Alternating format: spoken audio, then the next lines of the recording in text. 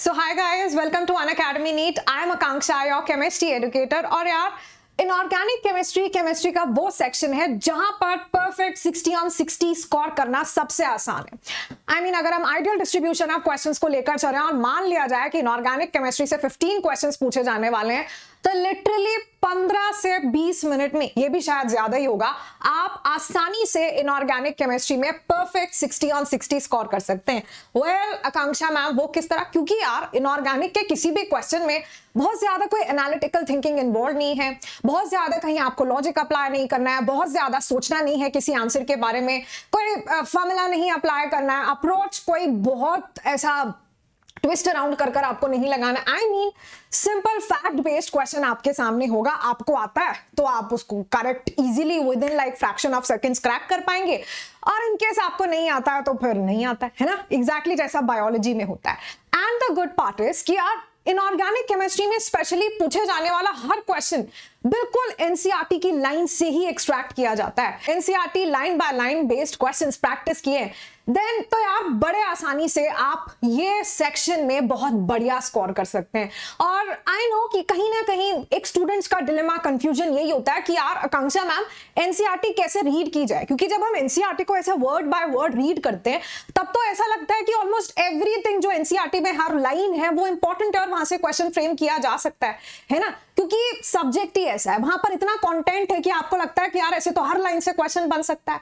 तो स्पेशली आज के इस वीडियो में मैं आपको समझाने वाली हूँ कि किस तरह से आपको एनसीआरटी रीड करना है। स्पेशली क्योंकि जो हमारे नीट 2024 एस्पिरेंट्स हैं, अभी उनके पास बहुत ज़्यादा टाइम नहीं बचा है। Right right? तो यहाँ पर हम डिस्कस करेंगे how you can score perfect 60 on 60 in inorganic chemistry देखिए, सबसे पहले तो सबसे इंपॉर्टेंट यही है कि आप करेक्ट सीक्वेंस ऑफ़ यूनिट्स को फॉलो कर रहे हैं। आई मीन इनऑर्गेनिक केमिस्ट्री में ऐसा नहीं है कि आप स्ट्रेट अवे क्लास ट्वेल्थ आपको लग रहा है कि आप क्लास ट्वेल्थ के यूनिट ज़्यादा इंपॉर्टेंट है। पी ब्लॉक कोऑर्डिनेशन इनका जो है बड़ा हाई वेटेज है तो हम सीधा आई मीन क्लास ट्वेल्थ से ही स्टार्ट करते हैं। बट देन ऐसा नहीं आपको करना है, क्योंकि यूनिट कितनी भी इंपॉर्टेंट हो, जब तक आपको उसके फाउंडेशन टॉपिक्स नहीं आते होंगे, आप उसको नहीं समझ पाओगे। तो सबसे पहले हम शुरुआत पीरियोडिक प्रॉपर्टी जो कि class twelfth sorry class eleventh में आता है, वहीं से आपको करना है। फिर उसके बाद structure of atoms atomic structure यार and then chemical bonding so you have to follow this sequence only जहाँ पर आप शुरुआत कर रहे हैं पीरियोडिक प्रॉपर्टी से, फिर structure of atom followed by chemical bonding क्योंकि ये यूनिट्स आपका एक स्ट्रॉन्ग फाउंडेशन ले डाउन करेंगे, जिसके हेल्प से बाकी भी जितने चैप्टर्स बचे होंगे ना मतलब बाकी भी जितने यूनिट्स होंगे, आप आसानी से उनको भी समझ पाओगे और बहुत कुछ आपको रट्टाफिकेशन जैसा नहीं लगेगा। जैसे यार पीरियोडिक प्रॉपर्टीज़ में इतने सारे ट्रेंड आते हैं, हर प्रॉपर्टी का ट्रेंड है एक्सेप्शन है, चाहे वो एस ब्लॉक से पी ब्लॉक से डी ब्लॉक से।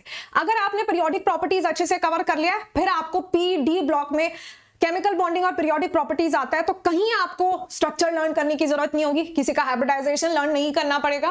कोई ट्रेंड कोई एक्सेप्शन आपको लर्न नहीं करना पड़ेगा, क्योंकि आपको पहले ही आता है राइट तो आप बहुत कंफर्टेबल फील करेंगे अगर आपके ये टॉपिक्स पर अच्छा कमांड होगा। देन इसके बाद बिफोर वी मूव अहेड मैं आपको जल्दी से आपके साथ में एक इंपॉर्टेंट इन्फॉर्मेशन शेयर कर देती हूँ कि यार हमारा ऑल स्टार बैच जो हमने जनवरी में स्टार्ट किया था बहुत सारे स्टूडेंट्स शायद उस समय पर उसको ज्वाइन नहीं कर पाए और आज उनको ये कंफ्यूजन है कि यार मैम अब टाइम इतना कम बचा है तो क्या ये पॉसिबल है कि इस टाइम पर अगर हम इस बैच का हिस्सा बनते हैं तो हमारा सिलेबस भी कंप्लीट हो जाएगा रिवीजन भी हो पाएगा क्वेश्चन प्रैक्टिस भी हो पाएगा क्योंकि टाइम बहुत कम बचा है। वेल well, आपका क्वेश्चन ही आपका आंसर है क्योंकि टाइम बहुत कम बचा है तो इस टाइम पर स्पेशली अगर आप अपना बेस्ट शॉट देना चाहते हैं तब तो बहुत ज़रूरी है कि आप अपने टाइम को वाइजली यूटिलाइज कर रहे हो।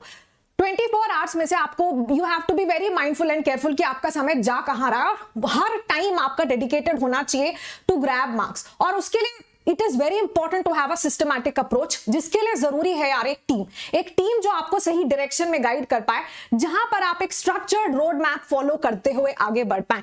And we have that team for you यार ये बैच आपका स्टार्ट हो रहा है from twenty six February and the very good news is कि आपका जो बैच है, उसके प्राइसेस फर्दर ड्रॉप हो गए हैं। तो यार, इससे बेहतर मौका नहीं मिलेगा।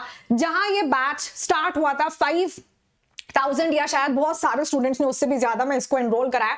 आपके पास ये बहुत ही अच्छा मौका है but this offer is valid for a very very limited frame of time so make sure कि आप इसका पूरा, यार अपॉर्चुनिटी लाइफ में बार बार नहीं आती।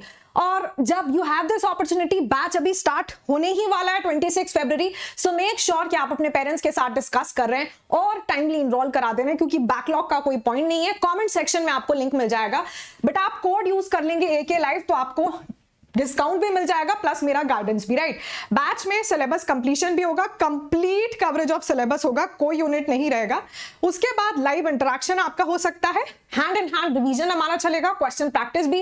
बैच के साथ ही इंक्लूडेड आपको टेस्ट सीरीज़ मिलता है तो अलग से टेस्ट सीरीज़ नहीं लेना है राइट फिर जैसे कि हम बात कर रहे थे इनऑर्गेनिक केमिस्ट्री की तो यार देखो इनऑर्गेनिक केमिस्ट्री में ना एनसीईआरटी क्योंकि बहुत इंपॉर्टेंट है।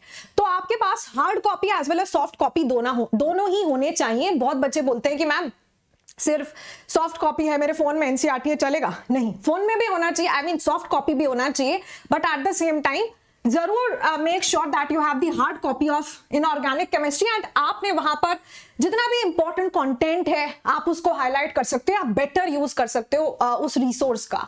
इसी के साथ जितने भी टेबल्स और एक्सेप्शन हैं उन पर आपको ज़रूर फोकस करना है। जैसे कि यहाँ पर मैंने एनसीआरटी के ही कुछ स्निप्स लिए हैं और अलग अलग हमारे पास यार Uh, क्या बोलते हैं ट्रेंड्स हैं। जैसे फॉर एग्ज़ाम्पल यहाँ आप अटोमिक रेडियस का ट्रेंड देख सकते हो है ना?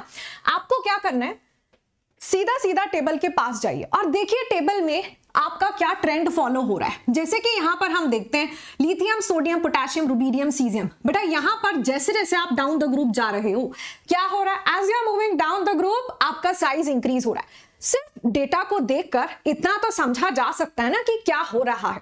तो यहाँ मुझे समझ आ रहा है कि आपका साइज़ इंक्रीज हो रहा है। सिमिलरली यहाँ पर भी as you moving down the group size increase हो रहा है। तो बस आप थोड़ा सा टेबल्स को एनालाइज करेंगे और देखेंगे कि यार डेटा के अकॉर्डिंग ट्रेंड क्या है। इंक्रीजिंग है या डिक्रीजिंग है? और कहीं कहीं आपको एक एक्सेप्शनल ट्रेंड देखने के लिए मिल सकता है।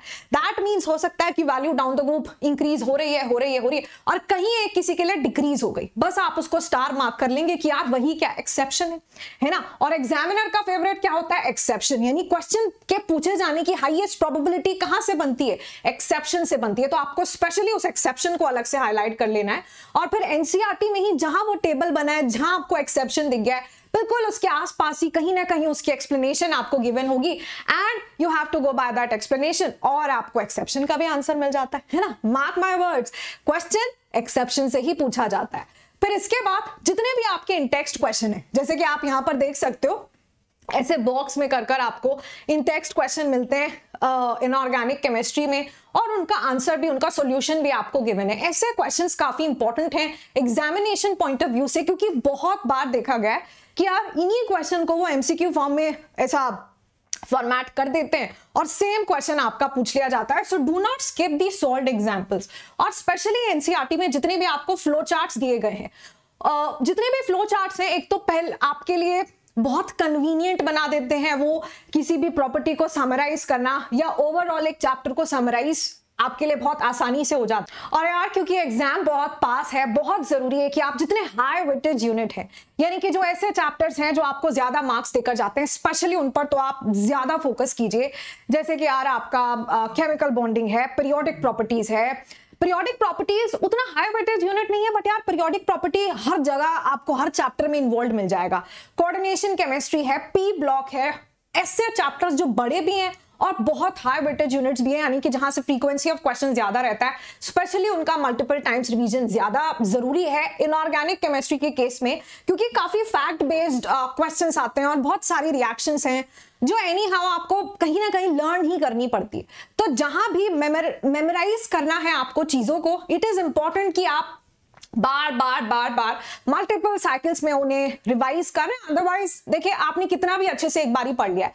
बट ये नॉर्मल ह्यूमन टेंडेंसी है कि वो थोड़े टाइम बाद आपके ब्रेन से फेड अवे होने लगेगा। If you not go through it again and again तो रिपीटेडली साइकिल बाय साइकिल उसको रिवाइज करते जाइए। और बाकी जैसे मैंने आपको बताया all star reloaded batch is your one stop solution specially if you are NEET 2024 aspirant यार, अगर आपके लिए पॉसिबल है ऑल्सो अगर आप अपना 100% अपना बेस्ट देने के लिए तैयार हैं आखिरी के दो महीने में then definitely get yourself enrolled आज ही अपने पेरेंट्स के साथ डिस्कस कीजिए। कॉमेंट सेक्शन में आपको लिंक मिल जाएगा।